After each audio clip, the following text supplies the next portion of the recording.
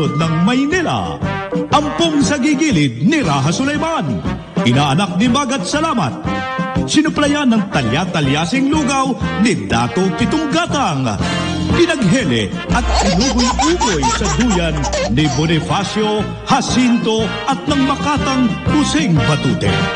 Kinidnap ni Asyong Salungga at tinuruan ng good manners and right conduct ang anak ng tundo. Sa banda Rine, si Rene Jose. Dito sa pitong gatang sa tabi ng huyan Makasaysayan na kung nalalaman Ito ay hindi chismis na pag-uusapan lang Leo, walang labis, walang kulang direct from the Iberian Peninsula. Iniluwa ng Bulkang Krakatoa. Sumadsad sa pagpang ng Zambales. Sinalpok ng alon at ipinagkampasan sa dalampasigan ng Ubando, Bulacan. Estudyante ng Santo Niño. Naglagari sa Madrid, San Nicolas. Dos Castillas at Don Quixote. The one and only Hijo de Relámpago. El Torito sa Bandarian, Señor Pacheco Niño de España.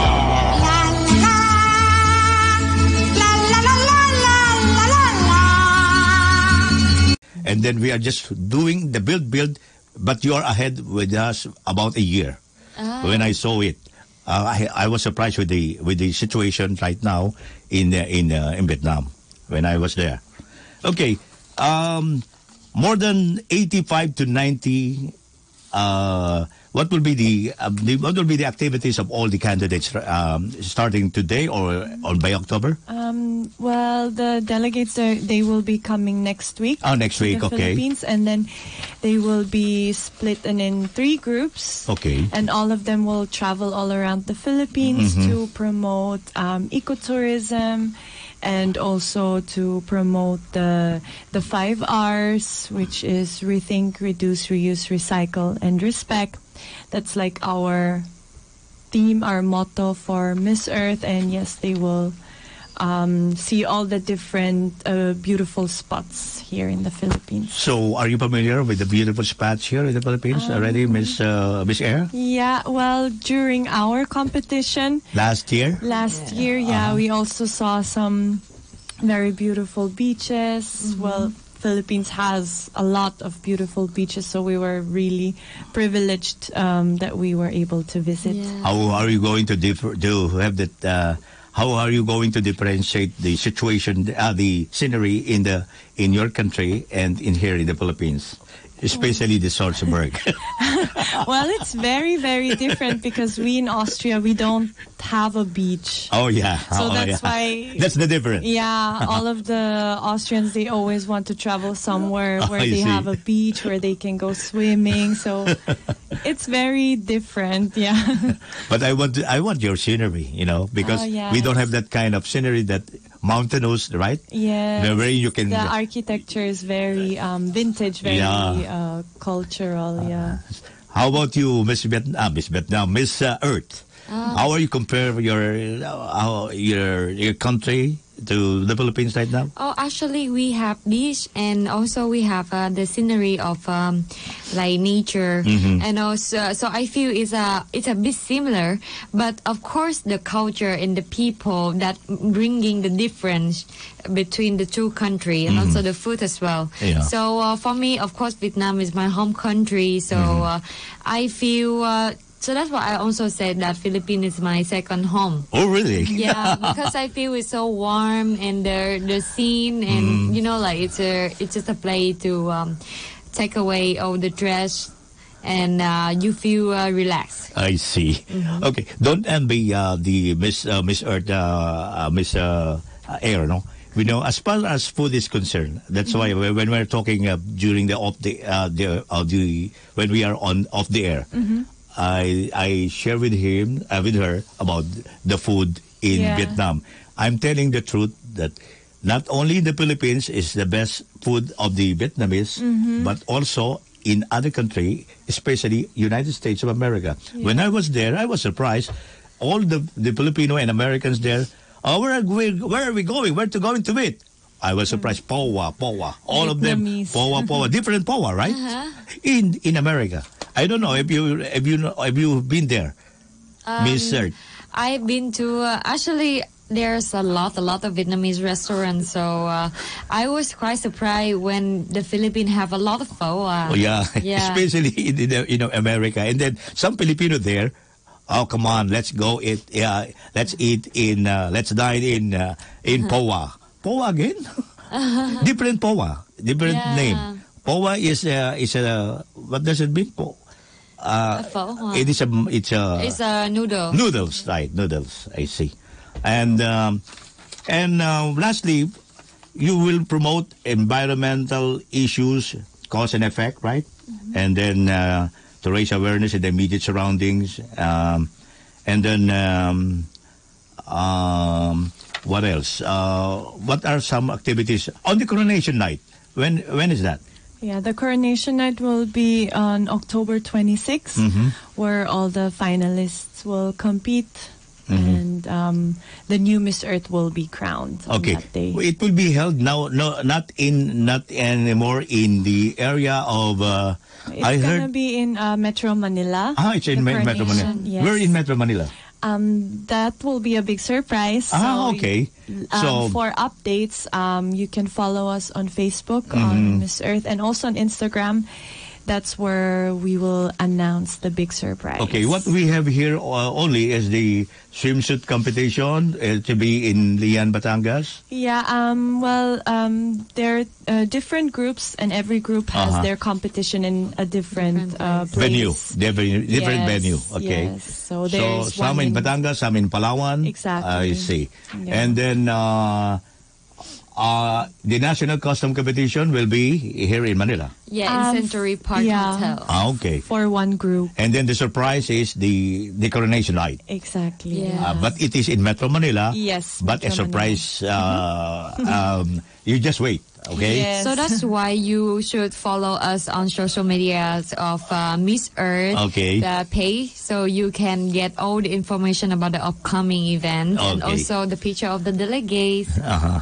Okay. Uh, lastly, uh, could, could you invite everybody uh, who are listening? Uh, you know what? You know what? I'll be frank with you that you are not. Uh, you are everybody. Uh, all the Filipino are watching. Not only here in the Philippines, all of them, all all, all over the world, because we have. Uh, you see, you see that monitor. They're watching us through their live stream. You see? Ah, okay. Have you seen that? So you can just uh, tell them. You can just uh, you can you can invite everybody, all the Filipino all throughout the world right now watching in this uh, program. Would you mind, uh, Miss uh, Miss uh, uh, Miss Air, please? Yeah, sure. Uh, Miss Melanie Mader. Um, I would like to invite each and everyone to watch the coronation night of Miss Earth. Um, it will be on October 26th. Um, there, will, there will also be a live stream. Um, I believe it's gonna be yeah on Fox Live, so you can also watch it live if you're not here in Manila. And then the next day, I guess it will be uh, aired on ABS-CBN. Okay. Yeah. How about you, Miss Earth? And uh, once again, please follow us on our Miss Earth page on Facebook, on Instagram, and even Twitter to uh, update for the upcoming event. And also, there is a lot of activity, and also from the message for the environment that I think I believe is good for you to get to get the information from that.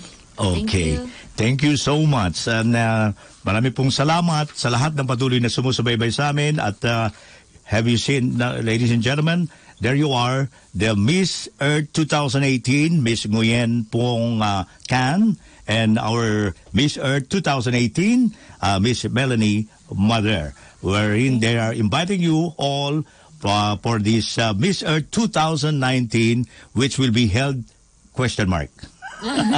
you just wait. Just follow uh, the Miss Earth activities, and then you may know as well where will be the uh, venue of the coronation night. Okay. Okay. Thank you so much for coming, you. uh, Miss Earth so and much. Miss uh, uh, Miss uh, Air, Nguyen, Miss Nguyen Pong Can from Vietnam, and Miss Melanie Mader from uh, from uh, Austria. Yeah. Okay, thank you so Thank much. you so much. Thank We will be back after a minute of commercials. René José, Señor Pacheco, Señor Pacheco, René José, doble banda, doble ganda. Paano po sa inyo mga text messages? Ang aming text line 0918-350-2378. Philippine Standard Time. Ganap ng ah, 52 minutos makalipas ang alas 4 ng hapon. Doble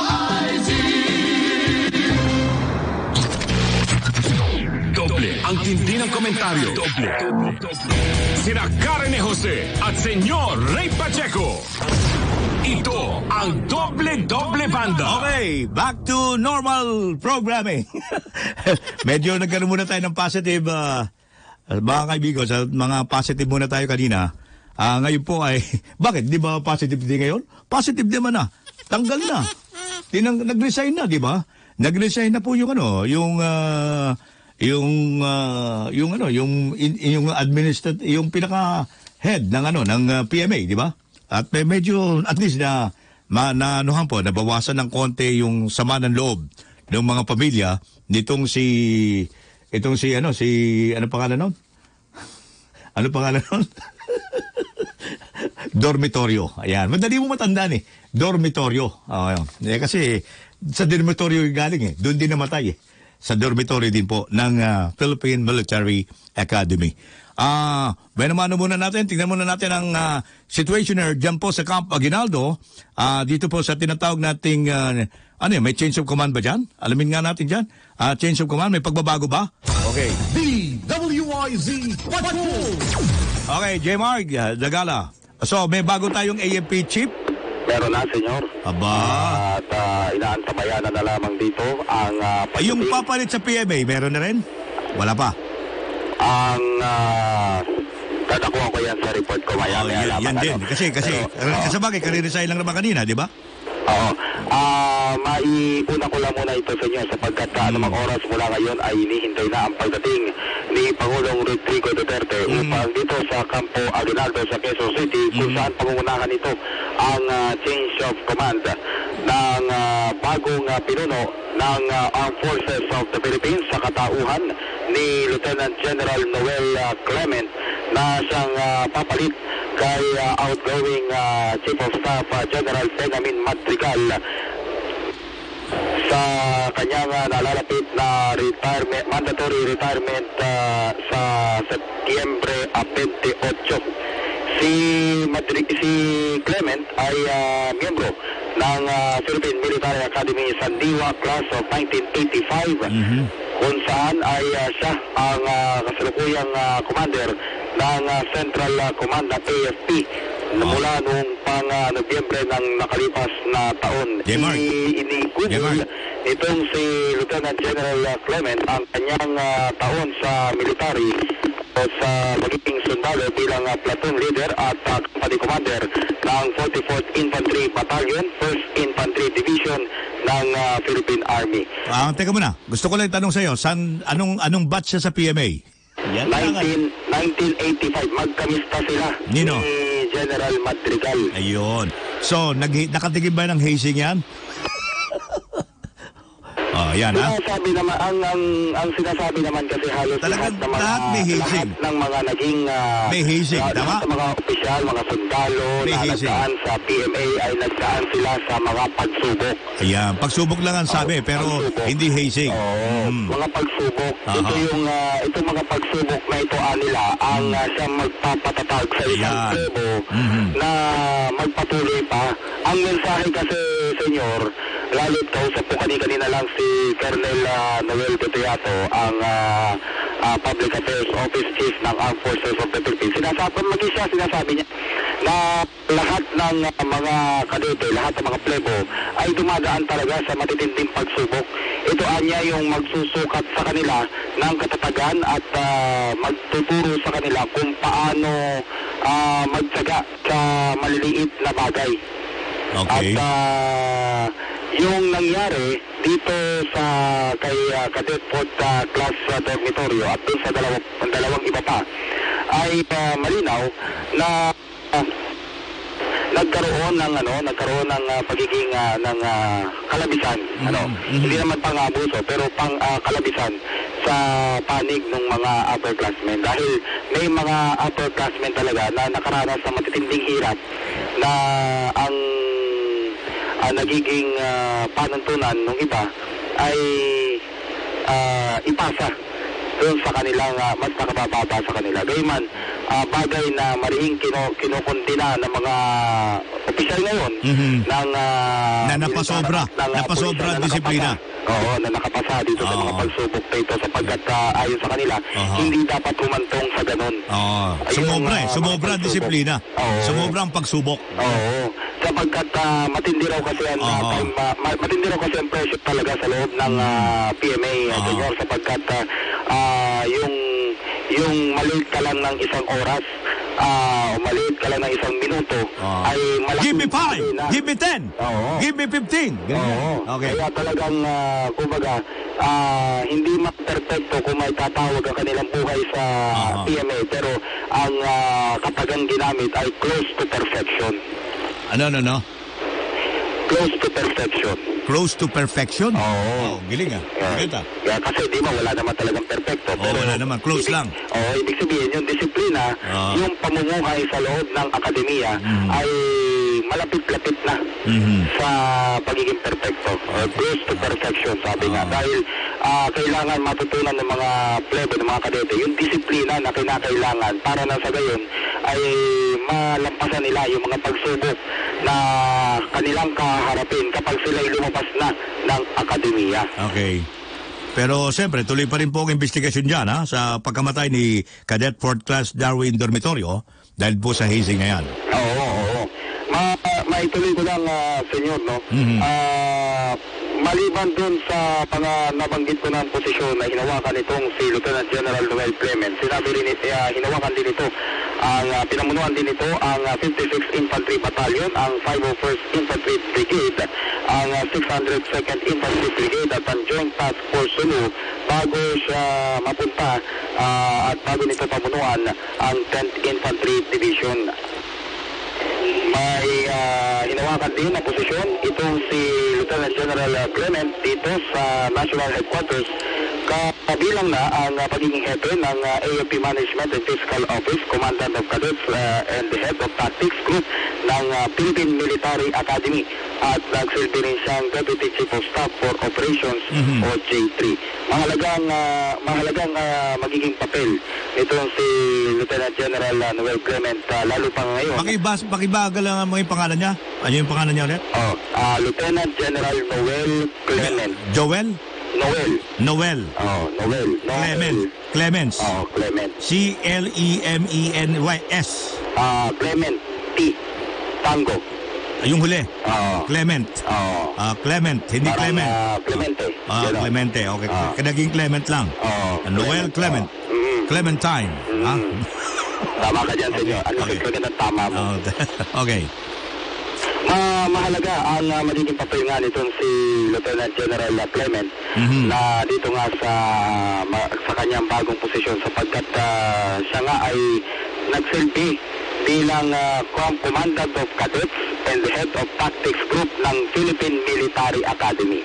Okay. So, ibig sabihin, uh, lalo harap ngayon sa sa matinding ah, pagsubok itong ah, PMA.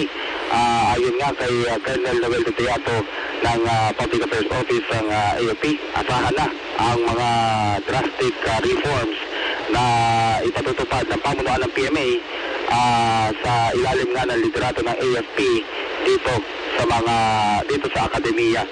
At ah, may dagdag ko lang din, uh, senyor, na itong si ah, Lieutenant General Clement ay ah, tumanggap ng uh, samusaring mga pagkilala. Dulot na rin ang kanyang pagiging ah, masipag at uh, dulot na rin ang kanyang pagsusumikap na sa pagganap sa kanyang ah, tungkulin bilang ah, sundalo bago ma-assign o bilang ah, Central Command Commander na-assign muna si Lieutenant General Clement sa ah, Eastern Mindanao Command, gayon din sa Southern Luzon Command, 4th Infantry Division, sa 701st Infantry Brigade, at sa 26th Infantry Battalion. Okay. At ah, minsan na rin siyang ah, na-assign at naitalaga bilang ah, Chief of Staff ah, ng ah, Philippine Army, ah, Chief of War Plans in the Office of the Deputy Chief of Staff ng ah, AFP. So yan lang yung ilan sa mga sa mga posisyon na hinawakan nitong ah, bagong AFP Chief of Staff, ah, Senyor. At ah, may dagdag ko lang din na minsan na rin ah, namuno itong si Lieutenant General Clem- Clement bilang Secretary ng Joint Staff and Chief of Staff ng Army Management and Fiscal Office. Okay. So, yan ang ilan sa credentials nitong ah, bagong ah, itong upo na AFP Chief of Staff sa katauhan nga nitong si Lieutenant General Noel Clement. Nandito na rin si outgoing AFP Chief of Staff ah, General Benjamin Madrigal at ah, isa-isa na siyang uh, kumbaga eh, nag ah, nagbibid na siya ng kanyang ah, pamamaalam dun sa mga nakasama niya at ah, katrabaho dito sa Armed Forces of the Philippines. At uh, present din dito, senyor, ang ah, mga miyembro ng ah, Diplomatic Corps, ang ilan sa mga kinatawan ng iba't ibang bansa. At uh, gayon din si MILF ah, at Bangsamoro Transitional Commission na Chairman Alhaj Murad Ibrahim. Gayon din si National Security Advisor ah, Secretary Hermogenes Esperon. Ang ah, ilan pang ah, matataas na opisyal ng ah, AFP at gayon din ang ah, ilan sa mga retiradong ah, general na sumusuporta at kanyang mga sa- kasama ah, dito sa PMA o Philippine Military Academy. Kanina, ah, nagbigay ng arrival honors ang ah, mga kadete ng PMA bilang uh, dating ang taga Commandant of Cadets itong si Lieutenant General Clement at ah, ngayon ay uh, naghihintay na lamang sila kung ah, sino-sino ah, kung sino-sino pa yung mga dadalo habang uh, nakapwesto na rin dito ang ah, mga sundalo para salubungin si Pangulong Rodrigo Duterte. Magbabalik ako mamaya, senyor, para sa karagdagan pang mga... Ah, nandito na rin pala. Nandito na rin si Defense Secretary Delphine Lorenzana. Okay. At ah, anumang oras mula ngayon ay inaasahan na na papasok Ang Pangulo. si Pangulong Duterte. Rodrigo Sige, dabayan na natin yan mamaya, ha? Antabayan na natin ang Okay. ah, iba pang mga pangyayari dito sa Campo Aguinaldo sa Quezon City, Patrol 9. J. Magdagaya ng sa pila may todo lakas. Dito BWRP. Maraming salamat, Patrol 9, J. Mark Dagala. Magbabalik po kami sa dali-sadali po lamang. René José, Señor Pacheco, Señor Pacheco, René José, doble banda, doble ganda, simply laughable. Para po sa inyong mga text messages, ang aming text line 0918-350-2378. Philippine Standard Time. Ganap ng 7 minutos makalipas ang alas 5 ng hapon.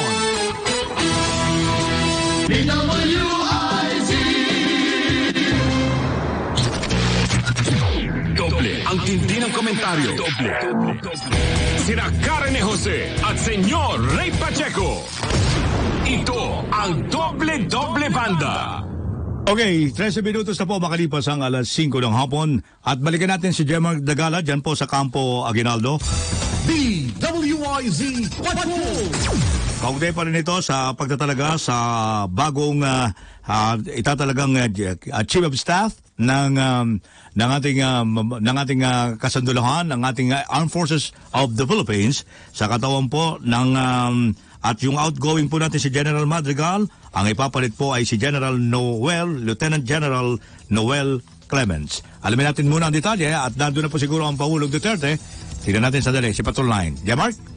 Senyor, isa kumpirmado na hindi makadadalo si Pangulong Rodrigo Duterte Ayun. dito sa change of command ng uh, Armed Forces of the Philippines. Ito ang kauna-unahang pagkakataon Na hindi siya hindi dumalo ang isang Pangulo ng bansa sa pagpapalit ng liderato ng hukbong sandatahan ng Pilipinas. Anong dahilan? Sa anong dahilan? Wala pang uh, ibinibigay na dahilan, senyor, sapagkat uh, ito'y ang uh, anunsyo ay isinagawa ng uh, ng mga opisyal mula sa palasyo ng Malacanang. Bagamat ah, kitang-kita ko rito sa aking harapan si Presidential Spokesman na Salvador Panelo. Kanina, Siya, magkakaroon- pa, siya papalit? Ah, ang uh, magunguna sa change of command ay si Defense Secretary Delfin Lorenzana Aha. bilang uh, kinatawan ng ah, Pangulong Rodrigo Duterte. At ah, kanina ay ah, nag ah, magkausap ito sina Secretary Panelo at ah, Secretary Lorenzana. At ah, marahil ay ah, sa aking uh, sa ay ah, pinag-uusapan nila ang dahilan kung bakit hindi makadadalo ang o bakit hindi nakadalo ang ah, Pangulong Rodrigo Duterte dito sa isinagawang ah, change of command. Pero patay sa source natin na senyor wala sa loob ng ah, Malacanang masama raw ang pakiramdam ng Okay. Pangulo Mhm, mhm. at ah, katabi ni Defense Secretary Delfin Lorenzana si Vice President Lenny Robredo Ah, nandyan ha? Nandito rin, nandito rin. Ah, ka- kasama ang ah, military ordinate. Ah, ito yung archbishop ng mga sundalo. At ah, sa ngayon ay ah, dahil nga sa sa tagpong ito na hindi na nga makadalo ang Pangulo dito sa change of command ay ah, agad nang sinimulan ang ah, seremonya na pinag na kung saan ngayon ay kasalukuyan ng ah, nagkakaroon ng ah, parada ng mga operative troops. Ito yung kanilang pagpasok bilang kudyat ng pagsisimula na nga ng programa dito sa change of command ng ah, Armed Forces of the, The Philippines, okay. Maya-maya makikibalita tayo kung ano ang naging dahilan ng ah, hindi pagdalo ng Pangulo dito sa isinagawang ah, pag-event ng ah, Armed Forces of the Philippines sa pagpapalit nga ng kanilang liderato. Patrona, J. Magtagala, nagulat sa Impilo Metodo Lakas, DWIC. Okay, 16 minutos na po makalipas ang alas 5 ng hapon. Sandali-sandali po lamang. Magbabalik tayo. Sandali lang, senyora. René José, Señor Pacheco, Señor Pacheco, René José, doble banda, doble ganda. Chico, your funny bone.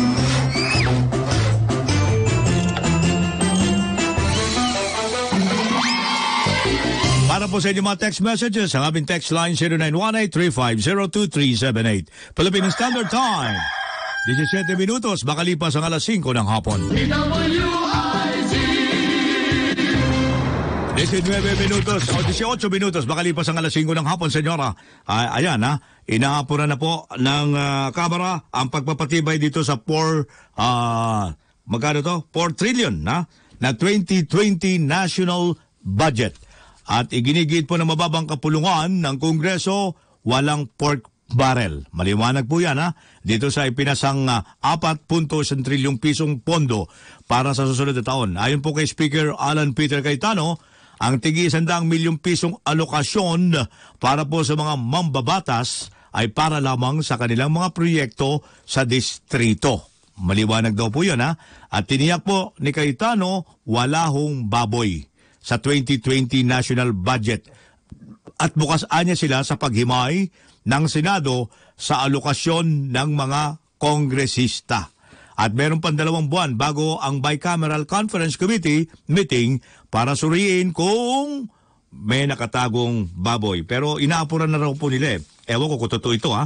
Inaapuran po ng Kamara yung pagpapatibay ng apat na trilyon na 2020 national budget. Baka raw kasi makonti naman, ano to? Makontamina. Ayun, baka daw po makontamina yan. Ng ano? Ng African swine flu. Ano, yung, na- yung nakatagong, yung nakatagong baboy. baka daw makontamina rin. Baka, bakit? Baka mahahawa rin ba ng African swine yan? Yung baboy dyan sa kongreso? Eh, wala nga eh. Nakatago nga. Ahanapin daw ng Senado. De, tingnan nyo. Sabi nga ni Speaker Peter Cayetano, tingnan nyo. Busisiin nyo kung may baboy. At kung may baboy, tingnan nyo kung nakontamina. Kaya nga tinatago para hindi ma-contain na ma mahawa dito po sa tinatawag nating African African ano, African swine. Ayan, ah, flu na yan tinatawag po, senyora. Okay, ah, ngayon po ay eto. Ah, kahit na ho, ika nga ay kahit na mataas ang, ang big time ang, ang increase natin eh, sa sa sa sa, sa gasolina ngayon, no? sa increase po. Pero sabi, posibleng mag-rollback ang pet- produktong petrolyo sa susunod na linggo. O, naku talaga ha. May rollback na naman ha. Ano, kakapiranggot? eh, kung, eh, kung mag, eh, kung mag ano tayo, kung mag-increase eh, ano po, big time eh. Ha? Pero pag oras na nag-rollback, kakapiranggot. ano nangyayari yun eh? Ah, eh, de, b- big time yung ano, yung increase, di ba? Ayan. Pag nag-rollback, rollback. Hindi, rollback. Hindi, rollback. Pero pag nag-increase, big time, increase. Ayan. Pero pag nag-rollback, rollback. Ayun, ang mabigat doon, senyora. Halos sa kada linggo, ganito na po ang presyuhan sa petrolyo. At yung ngayon, ang may tuturing na isa sa pinakabonggang pagtaas po ngayong panahon natin ito. Itong linggong ito. Pero sabi, oh, eh, baka daw mag-rollback ng ano, ah, baka daw po mag-rollback ng halos dalawang piso. Bahibala, ha? Totoo yan? Ang presyo ng produktong petrolyo sa susunod na linggo. Yan po ay binulgar na ni Senador Sherwin Gatchalian. Siya po ang chairman ng Senate Committee on Energy. Matapos po yung kanyang, ah, kanilang emergency meeting sa mga kumpanya ng langis. Promise, ha? Oo. Ayan, ha? Pinatawag po niya yung meeting kasunod ng halos dalawang pisong dagdag sa presyo po ng produktong petrolyo na ipinatupad ng oil companies. At ayon po kay Gatchalian, inaasahan ang pagdagsa ng bagong supply ng langis sa bansa matapos po may ayos ang planta na nasira sa ginawang pag-atake po dyan sa Saudi Arabia. Ayan ha, dalawang, halos dalawang piso din daw ha. Ah, Baka naman yung halos dalawang piso eh, baka magkano yung halos dalawang piso? Ha? Mga 1.50, halos dalawang piso rin yan, di ba? O, malamang pa rin yung dalawang, dalawang piso na mahigit, di ba? Dalawang piso mahigit yung ano eh. Yung roll, yung rollback, eh, yung ano nila eh. Yung ah, increase eh. Ah, sana naman po, totoo yan ha. At inaasahan po natin na mangyayari po yan, senyora. Ngayon, um, Tungkol po rito sa Philippine Military Academy, senyora, nagpatupad na po ng stripping. Nako, mabigat ito. Stripping sa Philippine Military Academy para alamin kung sino-sino ang mga kadete, kadete ang dumaan sa pagmamaltrato. At ipinag-utos po ng Armed Forces of the Philippines matapos na mamatay sa hazing yung pong kadete na si si ano na si um, ito po si uh, ano pangalan ulit? si Dormitorio. Ayan. Matapos mamatay sa hazing, eh, meron po ilang, ilang kadete pala ang nagpapagaling din sa ospital. Dalawa pa yan, ha? May dalawa pa. Ibig sabihin, hindi lang si hindi lang si Dormitorio ang napuruhan dito po sa hazing. May dalawa pa at meron, siyempre, siyempre lahat ng kadete yan meron. May tama lahat yan. Di ba? Tama ba? Eh, siguro, kaya kung ako kay Brigadier General uh, Edgar Arevalo, uh, spokesman ng AFP, dapat po ang bawat kadete iniinspeksyon yung kanilang ng kanilang tactical officer kung may mga palatandaan. Ayan. Lahat yan ng kadete dapat checkin nyo ng pasa, galos o anumang senyales ng pagmamaltrato. Pero tiyak ko meron yan. Dahil sabi ni, ni General Bato, eh, ni Senator Bato, eh, da- dalaga daw natural yan. O sabi ho ng ilang mga military, natural yan. O yan po yung papalit ngayon na na out ah, yung ah, yung incoming na AFP natin. Natural din yan dahil daw po diyan eh, natututo at nagiging matatag sila sa anumang mga pagsubok na hinaharap sa kanila. Mabigat din yung pagsubok, ano? Mabigat din yung pagsubok na yan, ano? gulpi rito, gulpi doon. Eh, siyempre, sa actual nga naman na pakikipagdigma, gulpi rito, gulpi doon. Matatag ka. Hindi ka tutumba agad. Eh, pero mahirap naman ko kung sobra-sobra ang mga ang mga binigay ninyong ah, pagda, pagbibigay ninyo ng ah, ng disiplina o ang tinatawag ninyong paghihigpit o o pag pagte-training o pagsubok. Mukhang mahigpit po ata ito. Eh, dahil umabot to sa kamatayan eh. Sumobra ata ito. Yun lang. O, kaya titignan po yung galos, senyales ng pagmamaltrato at kung may nararamdamang sakit sa katawan. Sinabi po ni Arevalo na bahagi pa rin ito ng kanilang pagsisikap na matigil na yung hazing sa PMA. Matitigil kaya? Ah, ay, ang, tigil, ang, ang tindi ng ulo ni engineer mo sa shower-shower. Malabo daw. Yung ulo niya, oh, dalawang, ilang iling yan? Oh, naku, hindi ko mabilang yung iling mo. Ha? Malabo, malabo, malabo yan. Kasi bahagi yan ng ano, no? Tradisyon. Tradisyon na yan eh. Alangan naman sila lang. sila lang ang hindi makakatikim. Kami nakatikim, sila hindi. Parang ganun yan eh. Ang hirap nun, ano. Ganti-gantihan yan eh. Ganti-gantihan ba yan o para mat- matrain? Kala ko pagsubok eh, ba't ganti-gantihan? Eh, kita mo nga ako sa tindi ng ganti. Minsan pag napag-iinitan ka dyan, kaya ikaw napupuruan eh. Ah, di ba? Pag kinainisan ka, o kinainggitan ka, eh, dalawa ho nangyayari. O, kita nyo, bakit si, sa dami ng mga ginulpi dyan, lahat naman ho yan, ginulpi. Lahat ho yan, eh, nakatikim ng hazing. Pero nagtataka ka, oh, bakit matindi ang, pat, ang tama ni eh, dormitoryo? Napaginitan? Pwede ba, engineer? Ano, engineer uh, sa shower-shower. Napaginitan, kinainggitan, kinainisan. Kasi pag napag-initan ka dyan at kinainisan ka, hindi ko hukus na natatapos na mukha mo, ah. Masyado kang gwapo, ha. Papapangitin nga kita. Yan, yan ang mabigat dyan. Ah, mukhang Senyor Pacheco, ang yabang ng forma mo, lit-lit mo ha. Bigyan mo nga ito ng ano, ng ah, ng ano, ng ng ng ano, ng ah, ano? dos por dos at tres por tres. Cuatro cuatro. Cuatro por cuatro ibigay mo diyan. Mas matindi yun, ano? Kaya yan po mahirap dyan, senyora. Okay, so ngayon po ay titignan natin sapagkat uh, ang, ang na- naka, naka alam mo mabigat dito ha, may mga banta na rin na malamang na ito pong mga estudyante nating mga bago ngayon diyan, eh nako eh baka i baka i-expel diyan lahat. Ah, yung iba ha. Eh, Baka lalo na yung mga nanggulpe, expelled.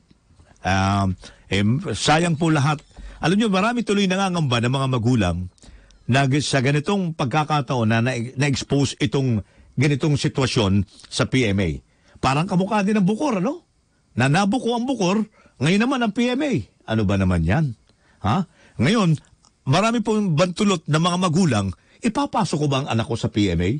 Ta- Natatakot na rin sila.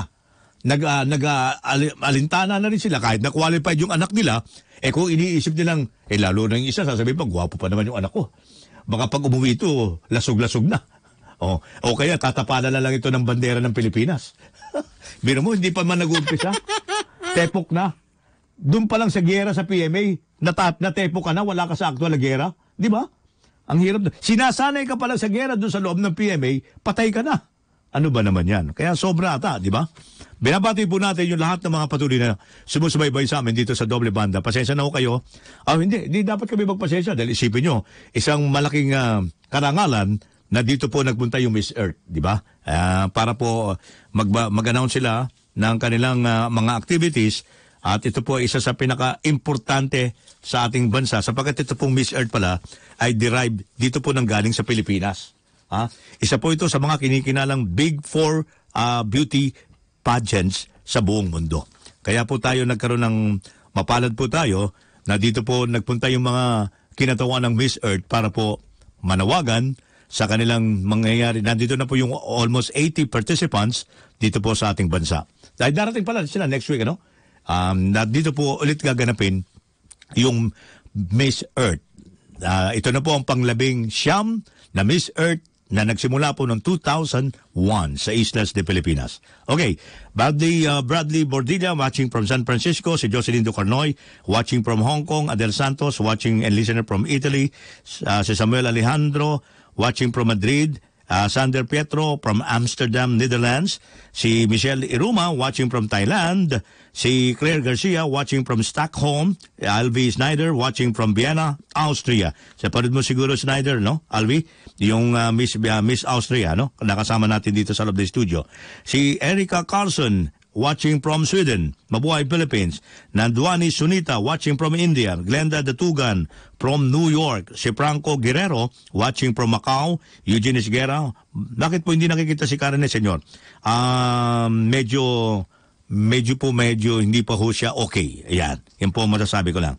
Maludi Guzman, watching from Qatar. Jasper Calliope, watching from Japan. Si Rico De Los Reyes, uh, watching from Malaysia. Yan po ang mga lahat ng mga amigos at mga amigas natin mula po sa iba't ibang panig ng daigdig. Maraming salamat, uh, Chef Bibing, Chef Kano, uh, si Jimmy, at si uh, Edith um, De Guzman, Be- De Guzman tuloy, Edith De La Cruz, at ganoon din po si Johnny Fabiala. Muchas gracias. Marami pong salamat. Hanggang sa muli. Hasta mañana. Ang gabayanan, si Edwin Eusebio sa kanyang palatuntunang Balita na Serbisyo Ba? Ito ang Doble Doble Banda.